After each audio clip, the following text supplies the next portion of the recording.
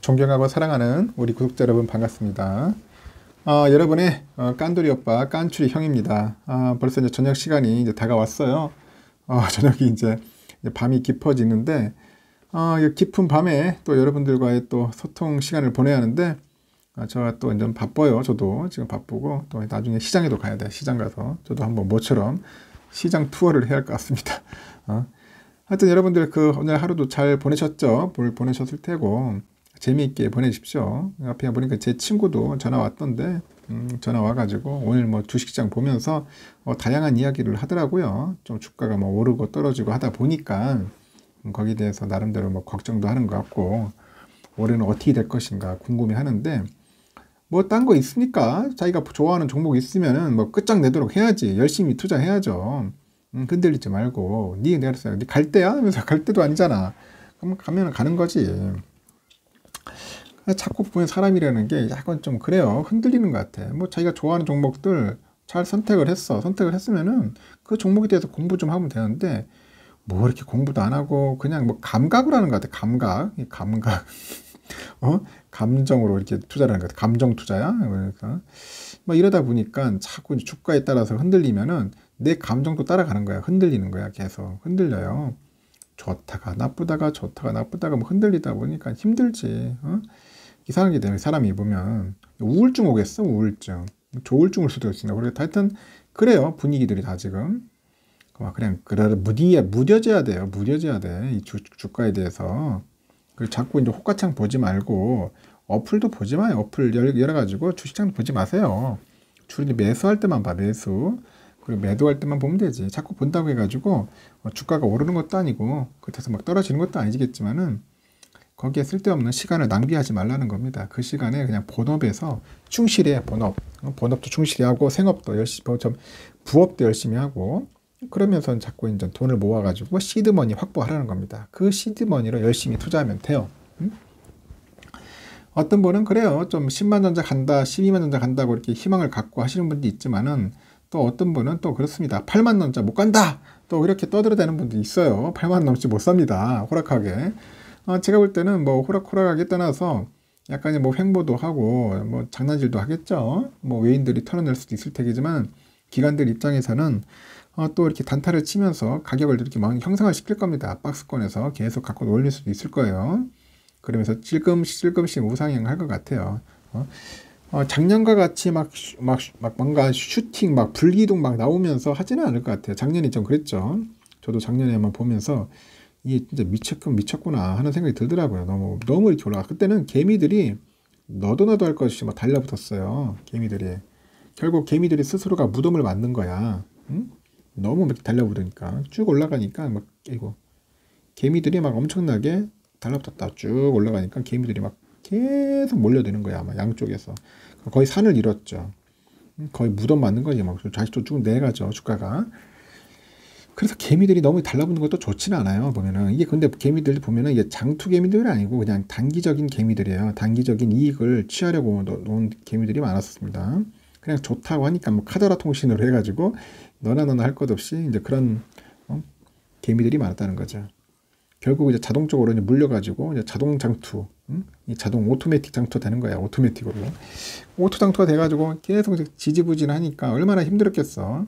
한 달, 한 달 지날 때마다 사라지는 거야, 이제. 사라지고, 떨어져 나가고, 힘들어져가지고. 근데 그런 개미들이 부지기수였고, 그나마 지금 이제 버티신 분들이 진짜 찐개미들인 것 같아, 찐개미들. 아, 삼성전자 찐개미들이 좀 많이 생겼어요.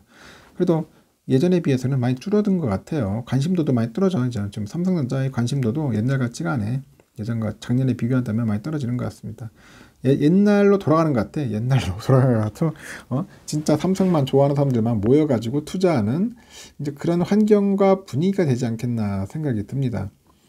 앞으로 이제 8만 전자가 빨리 돌아오겠죠. 저는 그렇습니다. 제가 볼 때는 1월 달에는 돌아올 것 같아요. 충분히 갈 수 있을 것 같고, 뭐 이분처럼 뭐 7만 7천 원에서 8만 원 사이 보합으로 몇 달간 간다고 하는 것 같은데, 몇 달간 거의 뭐 신이 내리면 우리 귀염둥이 같은데, 일단 저는 그렇게까지 생각을 안 하고 좀 횡보를 하더라도 조금씩 조금씩 우상향하지 않겠나 생각이 듭니다.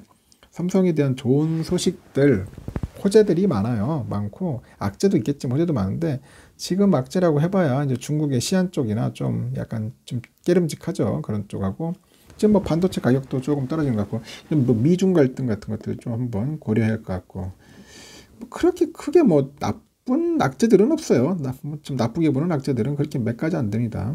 호재들은 좀 많이 있습니다. 좋은 일들이 많은 거죠. 삼성전자 앞으로 돈도 잘 벌 것 같고 조만간 이제 4분기 실적도 나올 것 같아요. 이제 4분기 실적에 따라서 삼성전자 또 슈팅하냐 또 뭐 폭락하냐 뭐 그렇게 하겠지만 어, 실적이 나오면은 이상하게 삼성전자는 다 알아. 응? 이 삼성전자라는 기업은 돈을 잘 벌고 매출 영업이익이 는다는 걸 알긴데 그 발표 날에는 그렇게 주가가 막 뛰진 않더라고. 오히려 어, 실적 발표인 날 주가 빠지는 그런 모습이 좀 보여요. 의외로. 미국 애들은 주가가 올라. 특히 뭐 마이크론 같은 데 보니까 실적 발표하면 주가가 뭐 7에서 10% 정도 뛰기도 하는데 이상하게 우리 삼성은 안 그렇더라고요. 그러니까. 그래서 난 실적 발표 날 그렇게 별로 좋아하지 않습니다. 생각외로. 그래도 어, 좋은 실적을 나왔다는 것은 다행인 거죠. 돈 잘 번다는 겁니다. 그리고 또 이번에 좀 배당에 관련된 이야기도 좀 나왔으면 좋겠어. 특배. 그 특배 관련된 이야기들이 좀 나와야 하는데 이제 그런 부분들이 조금 없어서 조금 아쉬워요. 하여튼 뭐 이렇쿵 저렇쿵 뭐 다양한 이야기들은 들리는데 뭐가 정답인지는 모르겠습니다. 좀 더 지켜봐야 할 것 같아요. 지켜볼 것 같고 뭐 M&A 관련된 문제들도 다양한 이야기들이 있는데 아직까지 M&A도 뭐 어디를 할 것인지는 좀 더 지켜봐야 할 것 같습니다. 예전에는 뭐 자동차 반도체 만드는 업체 뭐 NXP 같은 데를 막 언급하더니 요즘은 거의 쏙 들어갔어요. 또 쏙 들어갔고 삼성전자 과연 어느 쪽으로 할 것인지 상당히 궁금합니다. 음? 뭐 인공 인공지능으로 할 건지 AI로 할 건지 아니면 5G, 6G로 갈 건지 아니면 그냥 차 반도체로 갈 건지 어느 쪽으로 갈지는 아무도 모르는 것 같아요. 좀 더 아직까지 이제 뭔가 흘러나오는 그런 내용이나 소식들을 보면은 아직까지는 미정인 것 같습니다. 미정. 좀 더 시간이 지나야지 윤곽이 나올 것 같아. 너무 우리가 살레발 칠 필요는 없을 것 같습니다. 일단 애플 상황도 보면서 같이 이렇게 한번 체크해 보는 것도 나쁘진 않을 것 같고요. 하여튼 여러분들 좀 오늘 뭐 투자하면서 기분이 어떤가 모르겠어요. 오늘 뭐 한 200원, 300원 정도 뭐 올라가지고 좀 약간 아쉬움도 있을 거예요. 아침에 보니까 뭐 천원전자까지 찍던데 야 이런 모습 한번 보여줘야 하는데 이상하게 또 올랐다가 내려가는 모습을 보니까 아이고 역시나 또 100원 전자구나 해가지고 아쉬웠고 허탈한 분도 있겠지만은 어, 의외로 뭐 선방형 전 선방했다고 생각합니다. 왜냐하면 그 하이닉스 보니까 하이닉스는 주가가 빠졌어 오히려 하이닉스는 주가가 오히려 내려갔다. 어, 아이로 아이러니합니다. 하이닉스는 좀 빠졌어요. 그 삼성은 좀 올랐고 내일 도 조금씩 오를 거예요. 저는 그래요.